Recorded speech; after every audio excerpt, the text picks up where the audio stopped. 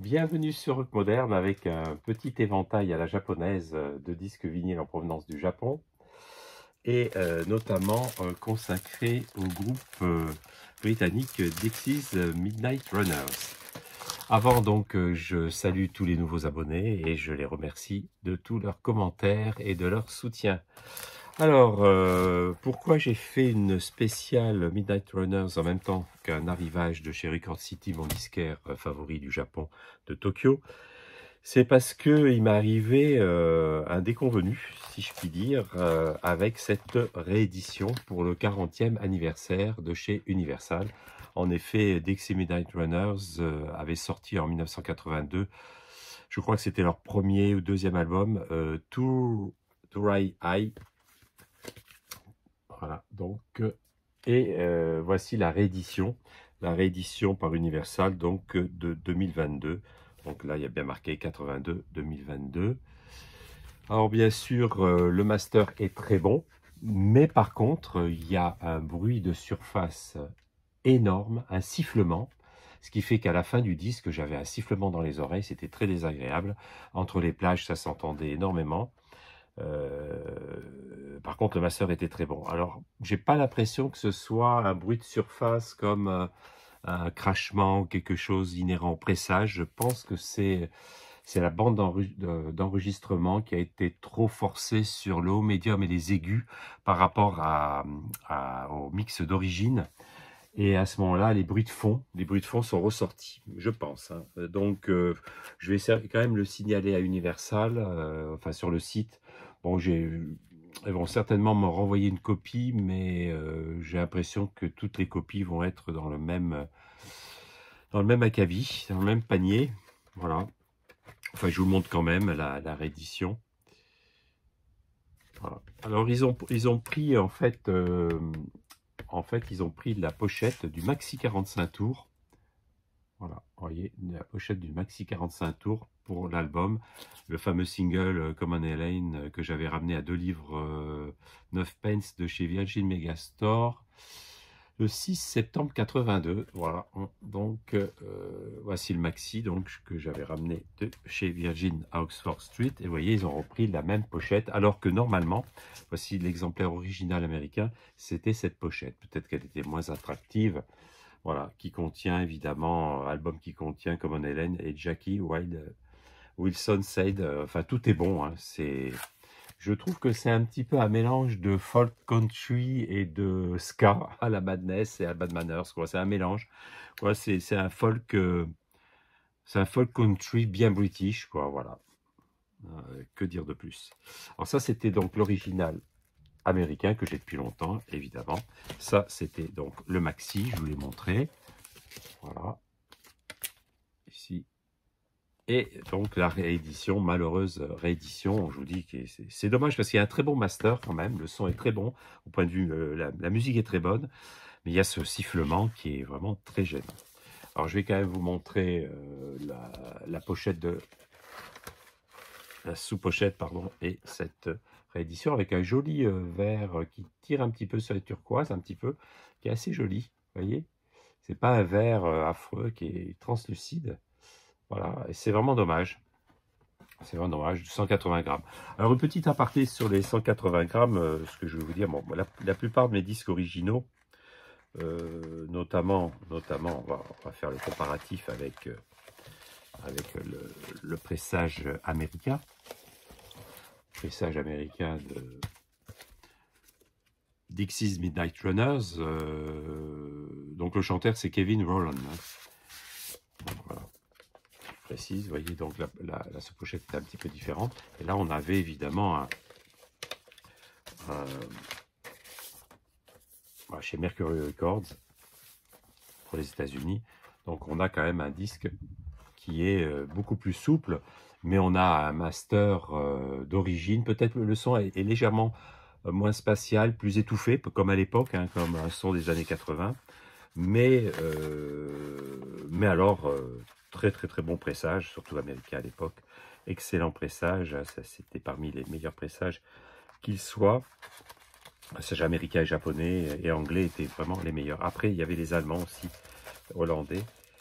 Voilà, je vais essayer de le remettre. Bon, sous pochette antistatique, c'est un petit peu plus difficile parce que voilà, on va voilà, ça, ça a glissé.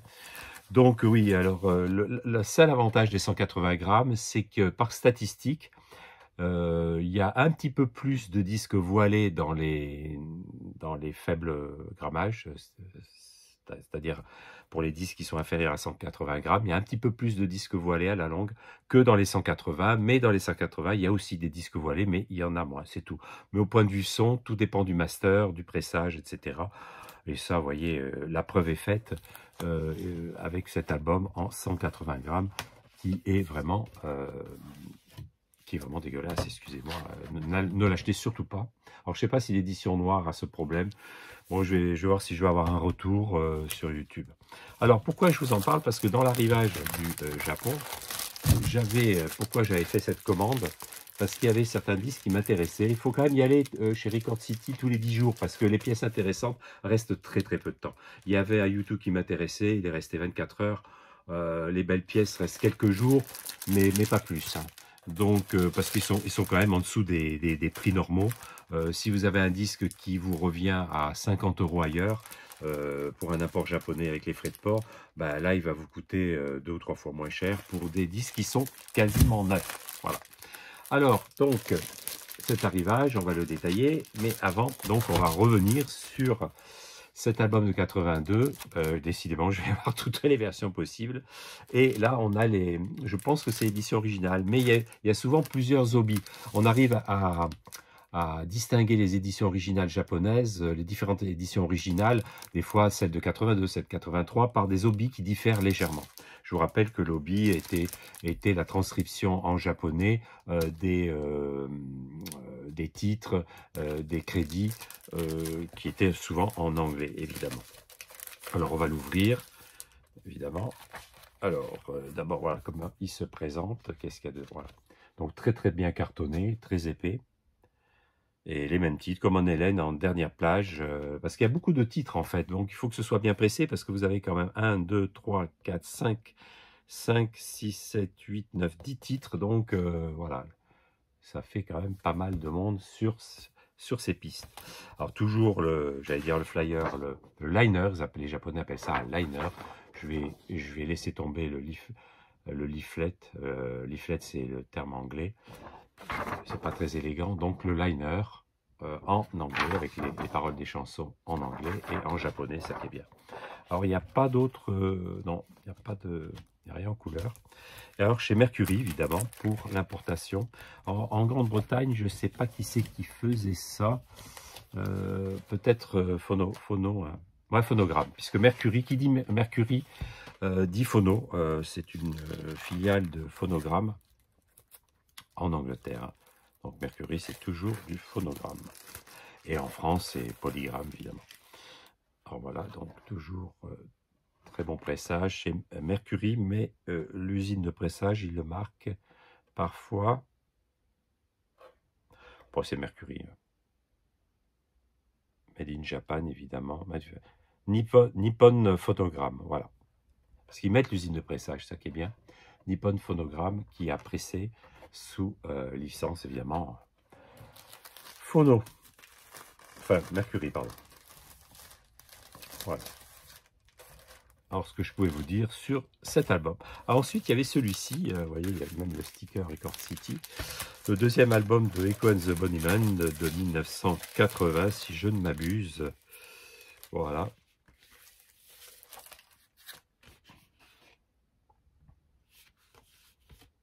Ah, c'est tous les groupes britanniques pratiquement hein, que je vous présente. Alors chez WEA, euh, par contre c'est un petit label hein, qui, euh, oh j'ai trop de mémoire que je connaissais par cœur. Euh, donc on a le premier, voilà. On a le premier. ce qui est bien sur Lobby, vous avez des indications de discographique et aussi d'albums qui sont sortis concomitamment à celui-ci. donc Haven Up, Up des Cohen the Bodyman, deuxième album, et le premier, le voici. Donc j'avais oublié le nom, il est en japonais, euh, peu importe, donc l'année précédente. Donc ça, c'était de c'était sorti en 81, voilà, il est de 81 celui-ci, alors que l'autre est de 1980. Voilà, je rétablis. je vous invite à vous rendre sur les playlists de ma chaîne, en dessous la vidéo nouveauté et dans la rubrique discographie ou nouveauté, vous pouvez faire des recherches sur Icon the Bodyman et vous avez pas mal d'unboxing concernant. Voilà, le label est là, c'est Korova Records Angleterre. Voilà, donc ça a été pressé par WA sous licence Korova. Voilà. Avec le même macaron euh, l'album original. Et j'avais pas d'album original. Je n'avais pas du tout d'album original euh, anglais, ni de cette époque, parce que c'est difficile à trouver. Alors j'ai sauté sur cet euh, album japonais, qui est un album original, bien que sorti en... Non, non, 81 aussi, non, concomitamment, c'est bon. Alors vous avez aussi le liner, liner avec les crédits en, en japonais, une petite photo inédite, comme ça. Et vous avez à l'intérieur l'équivalent de la sous-pochette, mais je pense que c'est mieux que ça. Voilà, mieux que ça, parce que là, vous avez toutes les paroles. Vous avez plus de renseignements qu'une pochette, qu'une sous-pochette qui serait comme celle-ci, ou comme, euh, comme celle-là, avec les deux côtés. Donc là, vous avez quatre côtés. Donc c'est très très très bien. Moi j'adore les imports japonais, vous voyez c'est en très bon état. Ça a pratiquement jamais été écouté parce que vous voyez pour que au bout de 40 ans, ce soit dans cet état-là. Euh, voilà, formidable. Bon, alors ensuite, bah, écoutez, alors j'ai déniché quand même un sacré truc. Euh, je ne sais pas si vous connaissez euh, le, cet album. Alors cet album était sorti en 1982 aussi, si mes souvenirs sont bons. La variété par week-end, pareil, groupe britannique aussi. Et je vous avais montré un petit 45 tours à maxi de ce groupe. Et, j'avais pas chopé, Bernard Lenoir le passait souvent à l'époque, euh, mais j'avais pas chopé l'album. Bon, j'avais pris les, deux maxi, mais bon, les deux singles, euh, mais bon, j'avais pas pris l'album. Alors je vois c'est Woodtrade, justement, on en parle à propos de Georges Michael. Woodtrade Records, qui était surtout un label euh, avant de devenir un magasin, qui a remplacé un peu à Londres le, Virgin Megastore. Hein. C'est un peu le pendant de Eastmaster Voice. Alors, euh, donc la variété par week-end était sortie là, Victor, Victor, donc euh, bah, de mémoire, hein, je peux vous dire, c'était 82. C'était 82, 83. Euh, voilà, fin 82, début 83. C'est sorti cet album. Alors c'est de la, oh, c'est du pop rock, mais un petit peu, petit peu soul, un petit peu, un petit peu très, très, léger, une influence un petit peu cool comme ça. Voilà, et donc il y a pas mal de, titres dessus. Hein. Euh, je cherche les singles. Enfin, il y a tout ça. Je me souviens plus trop, parce qu'il y a tellement longtemps. Attendez, je vais vous mettre l'hobby comme ceci, et vous verrez donc la tracklist ici. Peut-être que certains connaissent, mais c'est très fin, c'est très recherché. C'est du pop rock, new wave un petit peu, mais euh, voilà, il y, a des, y a des morceaux qui sont beaucoup plus, euh, beaucoup plus soul, je dirais. Alors, the, End of Affair, Weekend Stroll, Summer Days, Carnival uh, H, Drum Beat for Baby, A Life in the Day, Off, Part 1, A Life in the Day, Part 2, Sleepy Theory, Woman's Eyes, je crois que c'est celui-ci, Woman's Eyes, Weekend Off, euh, Red Plains, Nostalgia. Voilà. Je, vois, je regarde s'ils ont, ils ont pas mal de, de nouveautés japonaises de l'époque aussi. Alors, c'était donc euh, sorti en 82-83. Et euh, là, c'est ça qui est assez précieux, c'est la réédition de 87. Et c'est très rare d'avoir des rééditions au Japon en 87, parce qu'il y avait beaucoup de CD déjà à l'époque. Et euh, je tenais à voir celle-ci parce que plus elles sont récentes, meilleures, elles, sont, elles sont en meilleur état. Et en plus, elles sont plus rares. Elles sont beaucoup plus rares que l'édition de 83. Donc voilà, c'était ça l'avantage. Euh, donc c'est un represse, mais quand même assez ancien, qui a quand même 35 ans ce represse. Voilà. donc ça, je vais montrer, montrer avec les chansons, les paroles, enfin, c'est très très bien documenté. Ça que j'aime bien avec les Japonais, c'est c'est vraiment très très très bien. Alors ensuite, qu'est-ce que... Il y a pas mal de bonnes choses. Hein. Alors, euh, bon, ce qui justifie la commande aussi, c'est euh, cet album que je vous avais montré sous plusieurs formes, une édition originale américaine scellée, et aussi euh, l'Europress en deux, euh, deux albums, puisqu'il y avait en deux disques, sur deux disques, la réédition récente, puisqu'il y avait des, incluant des remixes, je crois. Alors, c'était Tung Tum Sampled, évidemment. Alors, Chrysalis, Chrysalis euh, ZTT Records, le label. Voilà. Ouais, c'est pas mal. Je vais vous montrer pas mal de choses. Euh, je regarde. C'est Toshiba qui a pressé. Donc c'est l'album de 86, donc Invisible, Invisible Silence de 86 avec le fameux Peter Gunn, euh, la reprise, et puis aussi euh, Legs de mémoire, Paranomia et Legs, voilà, c'est ça, les trois singles. Voilà, macarons, un petit peu plus générique au Japon, on est sur des macarons qui sont un peu plus génériques. Mais je vais vous montrer la super pochette euh, que je viens de découvrir avec vous. Je comprends, c'était pas cher ça, c'est... Je ne comprends pas qu'ils vendent des disques neufs comme ça, originaux le liner, à moins que c'est parce qu'il y avait... Ah si, si, il est là, le, liner. Alors voici la pochette, je vais être obligé d'enlever peut-être l'obi. Ben, je, vais, je vais un petit peu le décaler pour vous montrer la beauté de la pochette si j'arrive, hein, parce que c'est pas évident depuis l'époque. Bon, ça va pas être facile, donc euh, parce que la pochette est en relief. Donc euh, c'est ça, serait sympa que j'arrive à, décaler comme ça un petit peu l'obi c'est difficile. Quand ils sont, ils sont comme ça, moi ça fait rien. Je vais vous montrer. Voilà, si je ne sais pas si vous le voyez, voilà. Voilà, donc tout est en relief ici. Voilà, un petit peu. Euh, voilà, on a ça qui est en relief, ça, ça, les, carrés et le titre en fait, les carrés en couleur. Voilà, sont en, sont en relief. C'est assez sympa au toucher, assez agréable. Voilà, donc euh, et on a aussi tous les, tous les singles. Là, je regarde ce que c'est. Les singles, euh, voilà, de Lex. Oh. Les singles. Pas mal du tout, donc. Euh, et on a un petit livret. Je, avec, vois avec, un petit livret. Que j'appelle, voilà, un liner. Assez sympa. à l'intérieur, donc, euh, tout en japonais, bien sûr avec des titres en anglais. Voilà, tout sampled. Alors, qui c'est qui a pressé? C'est Chrysalis, euh, EMI, EMI, EMI, donc euh, EMI, Chrysalis. Euh, bon, ils, ils, font pas. Voilà, je vérifierai quand même si c'était toujours ZTT qui, qui les pressait.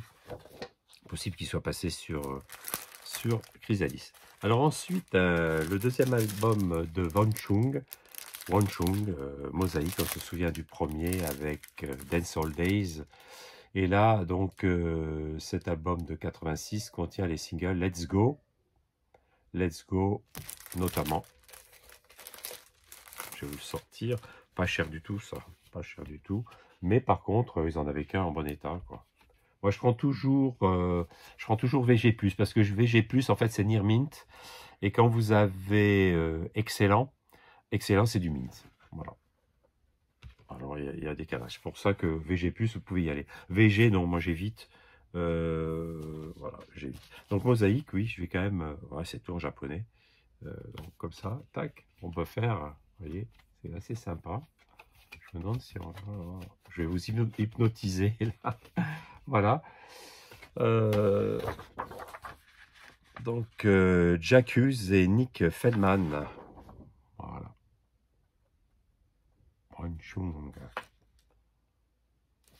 Tout en japonais, évidemment. Et je cherche désespérément. Je l'ai en édition originale, mais le japonais, le premier album en apport japonais. Parce que j'essaye de reconstituer les meilleurs albums, une collection de meilleurs albums en apport japonais. Vous en êtes rendu compte. Avec l'obi bien complet, si possible. Bon, il me, manque un de New Music, il me manque un de Classics Nouveau, il me manque un de Visage, The Anvil. Il me manque quelques-uns encore. Euh, un de Simple Minds.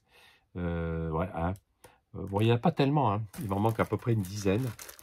Parce que les Dépêche Mode sont intouchables. J'aurais bien aimé quand même avoir le premier album avec Vince Clark. Pour moi, Dépêche Mode, c'est quand même avant tout le premier album avec Vince Clark, Just Can't Get Enough, Dreaming of Me et New Life. L'album de 81, pour moi, est au-dessus de la pyramide et après, tout, dégringole petit à petit. C'est pas péjoratif ce que je dis, mais quand même, euh, ah, c'est moins novateur. À l'époque, ça a été vraiment un choc cet album. Et j'aimerais bien l'avoir en pressage japonais. Les Cures euh, sont intouchables en pressage japonais complet. Complet avec lobby, hein. c'est plusieurs centaines d'euros, c'est à trois chiffres. Donc ça aussi, j'aurais bien aimé avoir euh, le troisième album, c'est Second, je crois. oui, et euh, voilà, il y a quelques-uns. Je vous dis, j'en ai une dizaine, mais bon, on verra bien. On verra bien aussi un Divo. Enfin, il y, en a quand même pas mal. Alors, chez Geffen Records, euh, alors, euh, pressé donc en 86, sous licence. Ah, on a. Qui c'est qui fait ça? Geffen Records, licence. W International. Alors, c'est sous licence. WEA. International, Geffen Records, et c'est pressé. C'est tout, il n'y a pas d'autres renseignements. Voilà, donc. Alors, qu'est-ce qu'on a comme petit euh, Hypnotize Me, je crois. Everybody Have Fun Tonight, évidemment, avec Von Schung et Peter Wolf. Euh, voilà, celui-là, ça fait un méga tube. Et on a Let's Go aussi, il me semble. Il y a tellement longtemps, déjà 86, ça fait déjà plus de 35 ans, mon Dieu. Voilà, donc euh, ce que je peux vous dire, Sung Bon Voilà. Donc, je regarde encore. Rien. Et alors le dernier, je l'avais, mais pas sans lobby. Alors je me suis dit, bah, tiens, pourquoi pas le fameux Roxy Music, Brian Ferry, avec le morceau The Same euh, All Scene de 79, l'album de 80, Flesh plus Blood, enfin je vous l'ai présenté à maintes reprises sous différentes versions. Euh, voilà, toujours des cartons très très très épais, c'est magnifique. Vous vous rendez compte, c'est des disques qui ont plus de 40 ans, qui sont dans un état pas possible. Voilà, avec, avec Lobby, ce qui n'est pas évident à trouver, surtout dans cet état-là, avec un beau liner. Voilà, en anglais et bien sûr en japonais toujours. Voilà, moi. Sait, normalement c'était euh, c'était pas CBS ça, à l'époque. EG euh, Records, c'était, je vois, Polydor. Alors voyons, qu'est-ce qu'ils me mettent là euh, J'ai Manufacturer. Polydor KK Japan. Voilà, EG Records. je montre encore là, tracklist.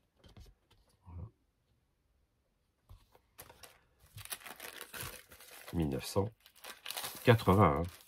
Bah, de mémoire, hein, ça. Oui, c'est ça. 80. Vous voyez l'état des disques. Hein, je, les découvre avec vous. Après, je vais quand même les passer au, gel parce qu'il peut y avoir eu des micro-poussières qui se sont infiltrées avec le, temps. Et ça, ce sont les pochettes antistatiques d'origine. C'est ça qui est bien parce que à quoi ce qu'on appelle les, sous-pochettes antistatiques japonaises, justement, où les japonais euh, mettent uniquement euh, les disques là-dedans. Il n'y a pas de pochette en papier. Euh, ils mettent pas ces, ces, pochettes antistatiques dans des pochettes en papier. Moi, je les mets pour que ce soit plus, plus commode à les sortir. Mais c'est surtout que ça évite que le papier à la longue se colle au vinyle ou, ou, euh, dégage des, des, poussières, des poussières de papier euh, à la longue et qui s'incrustent dans le sillon. Mais malgré tout, je les passe tous au gel euh, pour avoir vraiment une écoute impeccable. Et après, quand on, euh, à l'audition, on a l'impression que ce sont des disques vraiment neufs. Il n'y a, pas de craquement, il y a un master. Le son est toujours, c'est un son des années 80, toujours légèrement plus étouffé que le son de maintenant, parce que maintenant il force sur, le haut médium, les aigus, les basses, et le bas médium est un petit peu... Euh, parce que si on force, comme dans les années 80, sur le bas médium, euh, à ce moment-là, ça fait un son plus étouffé. Vous avez moins d'aigus, moins de haut médium, vous avez moins de basses. Pourtant, on, avait passé la période disco, il y avait quand même des basses, mais voilà, le mixage était fait comme ça. C'était assez équilibré. Euh, il y avait tant pour les aigus, tant pour le haut médium, tant pour le bas médium, tant pour les basses. Euh, donc c'est équilibré. Alors que maintenant, on force sur les basses. Si on force trop, le, diamant peut sauter. Hein, les, diamants sautent, ça m'est arrivé. Il faut que je, mette à 3 grammes pour faire passer certains disques euh, en réédition, parce qu'ils ont trop forcé sur les basses. Et euh, aussi, si vous forcez sur euh, les aigus, voire le, au, médium, donc vous avez des sifflements, des, bruits de surface peuvent, peuvent apparaître, même si c'est remasterisé, même si c'est repassé dans des filtres, etc. après, bon, le son est complètement dénaturé. Euh, bon, pour Ultravox, ça a été un bon travail par Steven Wilson. On voit pas de, il n'y a pas eu de, problème. Mais enfin, le son est tellement éloigné de, l'original. On n'a plus ce son naturel, ce son un petit peu étouffé, ce son, euh, euh, convivial, intime. C'est vraiment un son qui se rapproche du. C'est un son numérique d'abord, gravé sur CD, pressé sur CD. Mais on, a l'impression que le son est beaucoup plus forcé et que l'oreille aussi euh, est un petit peu plus agressée. On a l'impression que c'est un peu la même chose qu'un CD, à, part avec quelques imperfections, quelques craquements de ci, de là, mais avec le, CD, il y a de moins en moins de différences. Voilà. D'ailleurs, quand il se bornait dans les années 80 à, mettre la bande son euh, sur CD euh, sans retravailler, sans remasteriser pour CD le, l'enregistrement de départ original, eh ben on avait un son très étouffé sur CD, encore pire encore pire parce que euh, au moins le vinyle lui remet en avant certains sons que ne faisait pas le CD. Hein. Si vous lui dites pas euh, par, le, par le programme euh, au CD de d'augmenter ou diminuer certains sons, si vous faites pas un remastering, ben, va vous remettre un son plat. Tandis que le vinyle, il y, a, y a une transformation. Hein. Il faut en tenir compte quand on fait le master. on sait que certains disques vont amplifier, vont amplifier les aigus, voilà, euh, et il y aura peut-être moins de basses, donc il va falloir corriger les basses et corriger les aigus pour euh, pouvoir graver sur vinyle. Voilà, petit aparté. Alors vous avez deviné, euh, il y a eu des arrivages pour Halloween, mais malheureusement je les ai reçus après, après Halloween et j'attends encore un dernier arrivage d'Italie. Vous suivez, mon regard, vous avez dû deviner de quoi il s'agissait. Et donc, euh, voilà. Et après, je vous ferai une petite vidéo euh, de, je pense, de bande originale, euh, parce que j'ai aussi un petit arrivage de chez Mondo. Il y a une petite promo sur les frais de port. voilà. Alors, est-ce que c'est personnel? Je ne sais pas. Enfin bon, ça m'a permis d'acheter donc deux disques, voilà, de chez Mondo. Voilà, donc qui sont, qui sont à Roissy, hein, donc ils vont pas tarder. Donc je vais faire en tout, il y aura, là, il y a trois disques, euh, le quatrième d'Italie, 5-6, il y aura 5-6 disques en bande originale, donc je ferai une vidéo sans doute la semaine prochaine. Et là, je vais mettre en ligne aujourd'hui euh, cette vidéo. Mais il y en a eu pas mal, hein, parce que ce soir, euh, il y a le live de Monsieur Vinyle. je lui ai fait un petit peu de pub, hein, puisque lui aussi m'a quand même, a quand même favorisé l'essor de ma chaîne également. Donc live où il va présenter trois euh, nouvelles chaînes, nouveaux youtubeurs, euh, qui sont d'ailleurs, j'ai regardé un petit peu leurs vidéos, enfin il y en avait certains que je suivais, euh, ils sont pas mal du tout, hein, pas mal du tout, très, très professionnels, pas mal, hein, très intéressant, très intéressant, enfin je vous en dis pas plus, donc je crois que le live, oui c'est le 5, c'est ça, c'est ce soir, donc là je vais essayer de vous mettre la vidéo ce matin, donc elle va passer vers midi. Et après ce soir, euh, voilà, euh, le live Monsieur Vinyle. Mais euh, j'intercale un petit peu parce qu'il y a eu pas mal de, youtubeurs qui ont mis des NG Sound, Sabwacha, etc. Et aussi Fabef. il y a eu pas mal de, youtubeurs qui ont mis des vidéos jeudi, vendredi cette semaine. Donc il faut pas mettre tout en même temps. Il faut un petit peu intercaler pour pas lasser tous les... Parce que mes abonnés certainement sont abonnés également à d'autres chaînes euh, vinylistique, euh, dirons-nous. Voilà, bah écoutez, euh, vos commentaires sont les bienvenus. les abonnés aussi, abonnez-vous. N'hésitez pas à, cliquer sur la petite cloche pour être prévenu des prochaines vidéos, des notifications, à liker la vidéo, à la partager et à laisser vos commentaires. Salut, à bientôt